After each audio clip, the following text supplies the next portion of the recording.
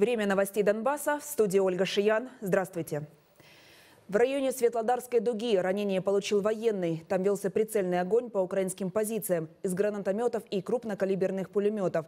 За сутки на передовой штаб Объединенных сил зафиксировал 26 обстрелов. На Луганщине неспокойно в Крымском и станице Луганской. В Донецкой области под огнем окраина Авдеевки, Южная и поселки на Азовском побережье.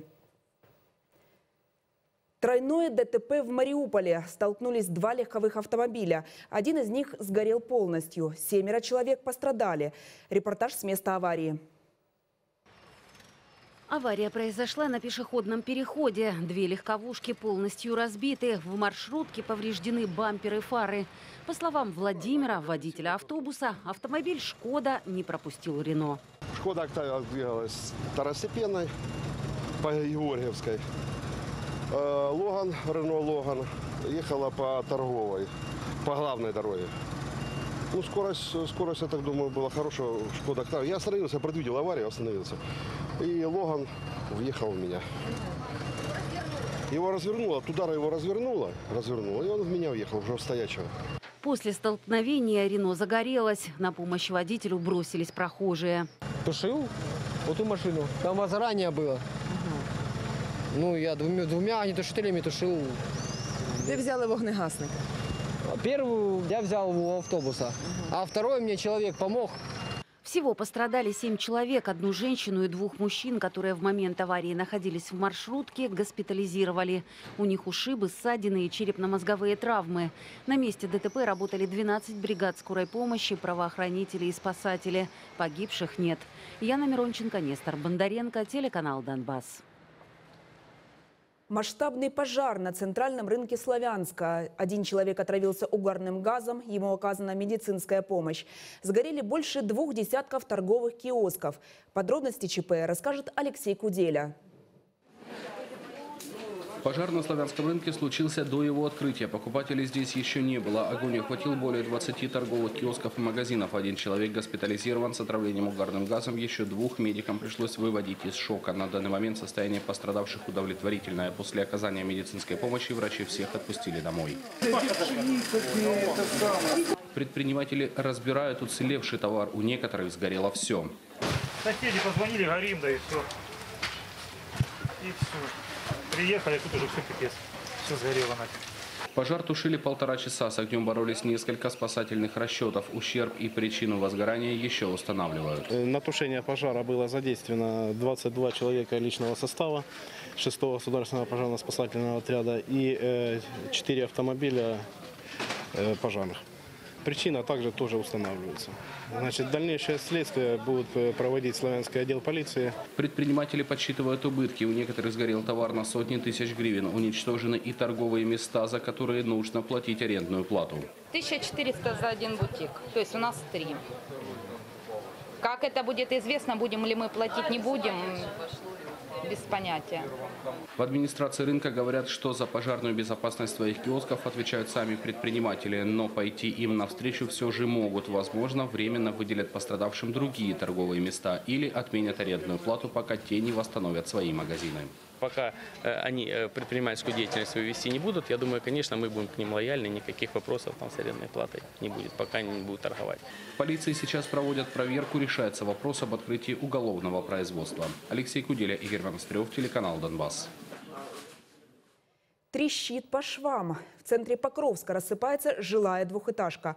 Осколки кирпичей падают на голову прохожим. Дом в аварийном состоянии уже несколько лет. Почему бездействуют коммунальщики? Узнавала Елена Успенская. Вот оно все, вы видите прекрасно, что оно все осыпано.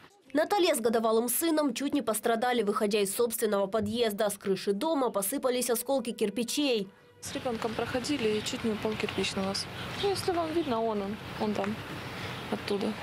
Этой двухэтажке 80 лет, говорят жильцы. Она в аварийном состоянии. Стены в глубоких трещинах, крыша давно прогнила. Сыпется э, над подъездом крыша. Коньков на доме нету. Все, весь снег, все затекает, потом тает, и оно все течет в квартиру. Сквозные дыры в подъезде жильцы латают сами. К коммунальщикам обращались, но помощи так и не дождались. Ничего не хотят делать. что дымориды аварийные, ни в подъездах ничего не делать, все делается своими силами. Когда вот дождь пройдет, осенью стоит вода во дворе в подъезде, вода по первую ступеньку, ходим по кирпичам. Никто ничего не делает. Коммунальщики говорят, о проблеме знают, помочь не могли, потому что дом числился на балансе Покровского предприятия. Собственность города двухэтажку перевели недавно. Ремонт обещают начать в июле. Такой дом уже приняли от железной дороги.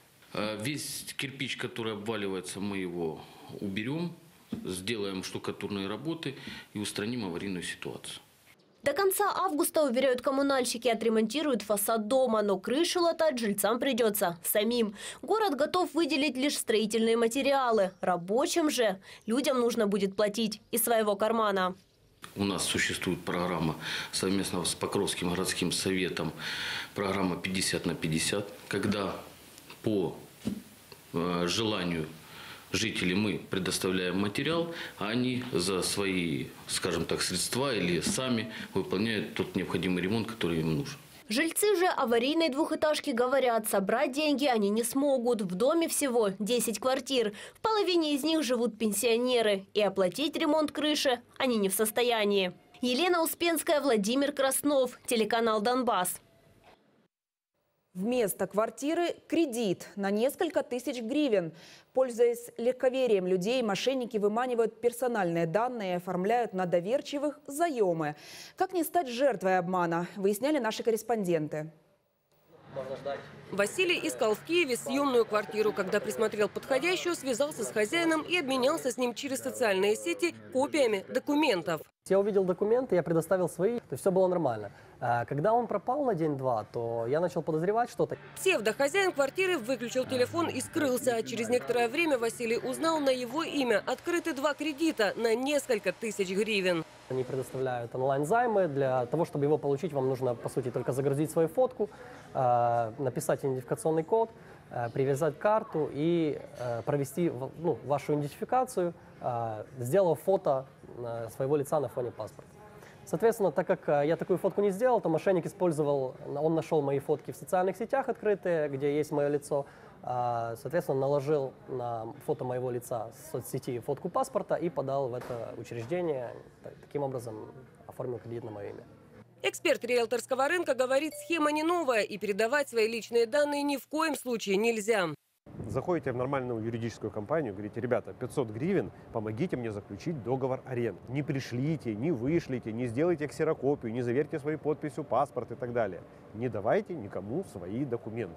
Самый простой способ уберечься от мошенников – проверить личность арендодателя в интернете на сайте Государственного реестра недвижимости. Достаточно знать имя владельца или адрес. Доказать же свою правоту в суде и аннулировать липовый кредит несложно. В первую очередь необходимо написать заявление в правоохранительные органы. И следующим шагом обратиться письменно, обязательно письменно в эту кредитную организацию, уведомить, что вы кредит не брали, кредит у них взят по подложным документам, и вы за это ответственности не несете. В полицию Василий заявление уже написал и надеется, что финансовая организация сама аннулирует кредит. Ольга Сломяна, Александр Махов, Алексей Клюка, Валерий Савицкий. Специально для телеканала «Донбасс». Хлипкие крепления на пандусах, разобранные конструкции. Так выглядят детские площадки в Мариуполе для детей с ограниченными возможностями. Эти площадки в рамках программы «Доступный город» начали строить еще прошлой осенью. Но так и не установили. Делать это отказался подрядчик. В конфликте разбиралась Елена Уланова. Рама для качелей, раскрученные болты незакрепленного пандуса, разобранное виниловое покрытие. Вот так сейчас выглядит площадка для детей с ограниченными возможностями в центре Мариуполя. Самая пора детская, где-то покататься, где-то провести время. Все родители понимают, что эта площадка должна быть установлена, что они уже приблизительно ориентировочно знают, они здесь будут проводить определенное время отдыха со своим ребенком.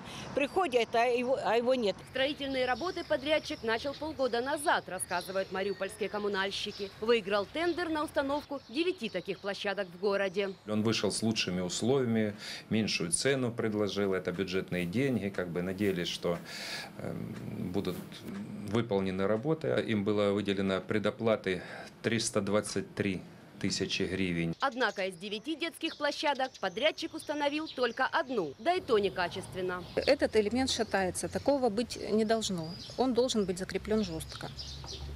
Строить следующие три площадки подрядчик вообще отказался. Еще пять оставил в разобранном виде. Нам приходится частично сейчас демонтировать и покрытие, и часть элементов демонтировать. Они не закончены, это и возможность травматизма, и, э, портит вид. К тому же это возможность воровства. По телефону подрядчик нас заверил, достроить площадки готов за две недели, но приступит к работе только после того, как получит деньги. Мол, за то, что уже сделал, местные власти ему не доплатили. В Мариуполе лежит еще э, оборудование и резиновая плитка уложить эти площадки. Оплатите одну, я э, приступлю к следующему. И дайте гарантии, когда вы оплатите остальные. Но платить подрядчику в Мариупольском Зеленстрое уже не собираются. Говорят, свою работу тот выполнил некачественно. Сейчас планируют объявить новый тендер и достроить площадки для детей с ограниченными возможностями в следующем году. Елена Уланова, Артем Коробецкий, телеканал «Донбасс». Рискуют остаться без крыши над головой. Дом семьи Овчинник из Новотроицкого рушится от каждого обстрела, а ремонтировать его не на что. Младшая дочь после сложной операции на сердце нуждается в постоянном лечении. Проблемы со здоровьем почти у всех членов семьи. Историю продолжит Инна Жиленко. Карьер на окраине Новотроицкого не раз спасал местных жителей от последствий обстрелов. Когда снаряды ложились в карьер, они поглощали сами собой взрывную волну и осколки. Дом семьи Овчинник всего в нескольких метрах. Прямые попадания его миновали, но каждое колебание разрушает его. Вот это вверху, которая фанерой забита, щитом упала вместе с штукатуркой. Я думала, рушится дом. Я так испугалась. Вынуждены спасать, что осталось. Материалы используют подручные. Выручает опять-таки карьер. Кроме меня больше никто этого не сделает и не построит. Какая хата у нас сейчас, в ней проживать уже невозможно. Денег нет не то, что на ремонт. В семье работает только Виталий, но с инвалидностью третьей группы много не заработаешь. Вы знаете, доходит до слез. Жалко, обидно то, что тянешься, а больше, чем ты хотелось бы больше, а ты не можешь. Львиную часть дохода тратят на лечение младшей дочери Карины. Она родилась с пороком сердца. Несмотря на проведенную операцию, до сих пор организм не восстановился полностью. Она проходит постоянные поддержки витаминозно. У нее в связи с этим ослабленный иммунитет. Кроме того, у нее еще и центральная нервная система нуждается в поддержке. Помощь родных нужна и старшему поколению в этой семье. Свекровь да, болеет, уже очень много лет болеет. У Ларисы Овчинник вследствие старой травмы повреждения суставов. Ходить ей тяжело. Несмотря на это, нужно ухаживать за больной мамой. Бабушка Оля совсем не видит. Она и так еле-еле ходит.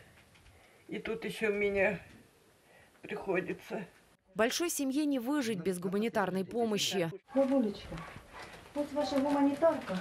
Четвертый год жители прифронтовых населенных пунктов получают продуктовые наборы штаба Рената Ахметова. Ну, ему жалко нас, этих несчастных, больных людей, вот, тогда пенсионеров. Вообще, видно, человек хороший. С начала работы штаба выдали уже более 12 миллионов наборов выживания. Для семьи Овчинник это неоценимая помощь. Спасибо большое Ренату Ахметову за то, что он не забывает, ну, как говорится, людей, стариков, там, больных, инвалидов, малоимущих, каждый зависит от этой помощи. Макароны я иногда все прям ем. Очень люблю. Ем. Инна Жиленко, Оксана Корчма, Евгений Якунин для телеканала «Донбасс». Велодорожки, велополосы, стоянки для велосипедистов и удобные подъезды ко всем объектам. С 1 сентября в Украине вступают в силу новые строительные нормы. Примут ли их во внимание в городах Донбасса, выясняли наши корреспонденты. Сергей на велосипеде почти 30 лет. Для него это основной способ передвижения. Щодня їжджу з дачі на роботу в театр Ну, це десь 15 кілометрів. Я їду і по шосе, і по тротуарах, і, і там, де отак от машини їздять, отак от. Тобто їду десь година 20, це щодня на роботу і з роботи. Мужчина говорит, пешеходов и проезжей части старается избегать. При этом неудобно ездить не только велосипедистам. Ну, когда он и на красный едет, и когда по пешеходному переходу они ездят на велосипедах. Ехал и чуть как бы не наехал на коляску. Решение проблемы – специальные велодорожки. В Мариуполе они есть, но существенно отличаются от тех, что в Европе, говорят велосипедисты. Велодорожки как бы есть, э, линии расчерчены, велосипедики нарисованы, но они расчерчены на таком покрытии, на котором ходить даже невозможно. Асфальт покореженный, где-то асфальта нет, где-то дороги нет. Современные велодорожки в Мариуполе обещают оборудовать в рамках капитального ремонта главного проспекта. Завершить строительство обещают к сентябрю. От проспекта Металлургов до Ливаневского будет э, обустроены велодорожки, которые будут отделены от пешеходной зоны зеленой зоной э, порядка двух километров шириной 2,5 метра. Они будут не на проезжей части, но и пешеходную зону затрагивать они не будут. Будет удобство и для велосипедистов, и для пешеходов. Мариуполь к законодательному нововведению готов, подтвердили в Горсовете. На минувшей сессии депутаты приняли целевую программу на ближайшие пять лет. Развивать планируют и велосипедную инфраструктуру. На это выделяют около двух миллионов гривен ежегодно. В конце э, августа, начале сентября у нас будет принята транспортная модель города Мариуполя, где также уже есть раздел э, э, велоинфраструктура с конкретным нанесением велодорожек, мест скопления велосипедистов и так далее. При этом чиновники уверены, главное не наличие велодорожек, а развитие велодвижения в целом. Ольга Пересада, Артем Коробецкий, телеканал «Донбасс». На этом выпуск завершен. Хороших вам новостей и уверенности в будущем. Всего доброго.